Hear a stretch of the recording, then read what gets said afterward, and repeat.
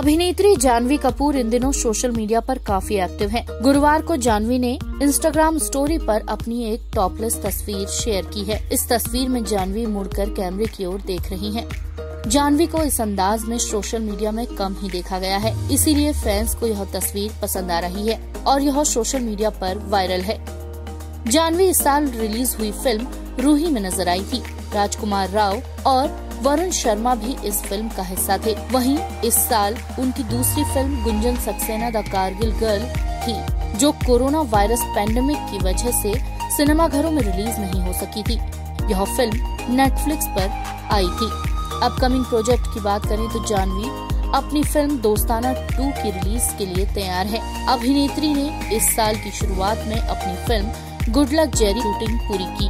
उन्होंने इस खबर को अपने प्रशंसकों के साथ इंस्टाग्राम पर शेयर किया। INS report